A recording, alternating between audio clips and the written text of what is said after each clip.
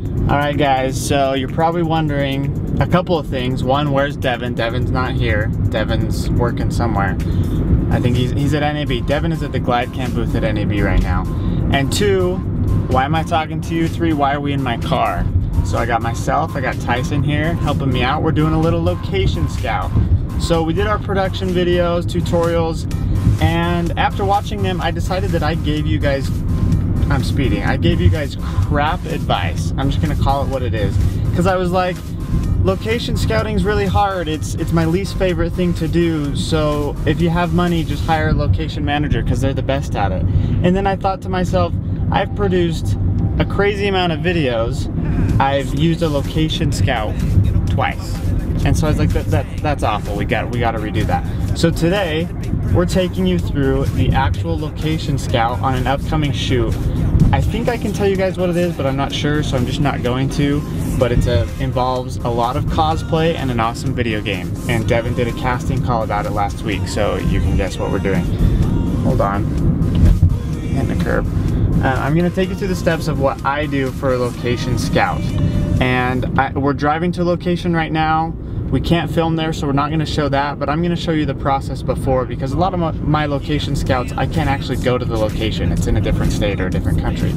So the first thing that you guys need to do, especially if you're filming in the United States, go to your film commission website. Every state in, in the USA has a film commission website and it's a great resource. I'm gonna I'm gonna flip to that right now.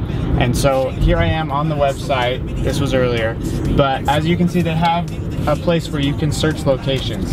So you search the locations, you type in the keyword that you want to use, and they have thousands and thousands of pictures for you to look at. And I mean, that's such a time saver. You don't have to go anywhere. You don't have to do anything. You you can see it all online without having to drive to it or fly to it or pay for someone else to go take pictures of it. A great resource.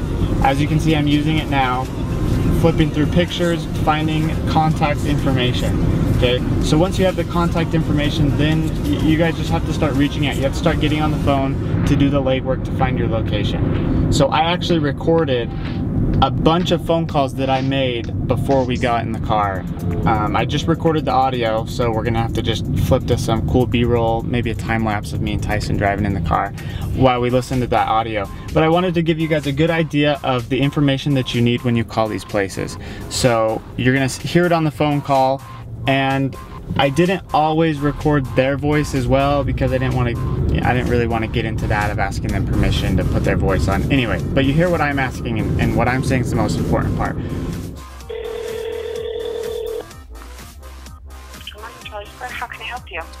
Hi, yes, I was just interested in inquiring about a, a, a commercial film shoot at Trolley Square. I don't know if you guys are open to that or not. So a couple things they're always gonna want to, they're always going to need to know. This car is gonna hit me. Is what's your creative? What do you want to do at my property? Okay, so so that's really tricky for me because that's when I have to break it to them that we're doing crazy stunts, and they usually tell me no. And you're gonna hear a lot of people tell me no on the phone calls. Um, it's for it's uh, it's for a digital um, YouTube commercial. I mean, we're not doing anything crazy, just kind of um, like walking, running around outside, a little short narrative. Is this something that typically is um, doable, or it kind of just depends? Okay, so they're gonna wanna know you're creative. The second thing that they want to know is your crew size. That's always an important aspect to them. How many people are gonna be here? What resources do you need? Do you need electrical? Do you need water? Every resource that you need on their location, they wanna know about because your crew size and the resources that you're gonna take, that affects that affects the, the price of the location. Another thing that they usually ask for is production company insurance. I know this doesn't apply to to most of you, but I'm just going to say it because most locations they don't want to be held responsible if something goes wrong. If you're just going there to take pictures, usually that's fine. But if you start doing parkour stunts or, you know, any sort of crazy thing that you're filming, they don't want to be liable for anyone getting hurt on location, so they're going to ask you for production company insurance, and you have to provide that. Not going to go into that. Uh, and I'm not going to go into that into any more detail. If you have questions about it, comment below, but we're done with the insurance talk. Okay, so the next thing they're going to ask is your budget. Sometimes that conversation is who, who will speak first, who says the number first. So if they, they ask me, what's your, what's your location budget? And I say $500, then they might say, okay, guess what? My fee is $500. When in reality, they would have done it for free, but they just wanted to know if I had a location budget. Do you think, you think you can do 2000 a day? So that's kind of a game you guys are gonna have to learn to play. It's my least favorite game, but I have to play it every day as far as who will say number first. That goes for working with brands as well. Um, yeah, so just just be aware of that. And if you don't have any money, tell them. And what I would say if you don't have any money for, for your production is, hey, look, I have zero budget. I'm making this film by myself, but what I can get you is exposure. Locations love exposure.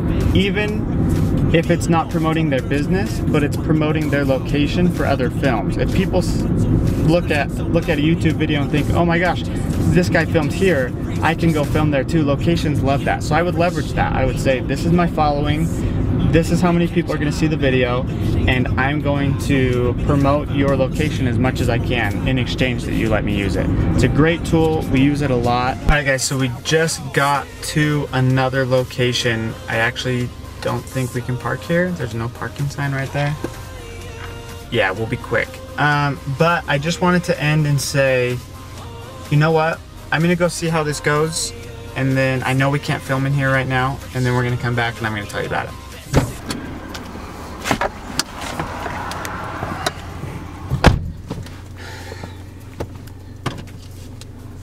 It's the word, dog? They said no. I'm super mad right now. I've been location scouting this for like a week. this always happens. Getting a location is the worst thing in the world. Um, I'm not surprised they said no, but I'm just starting to kind of get a little worried because we have about two and a half weeks until we shoot.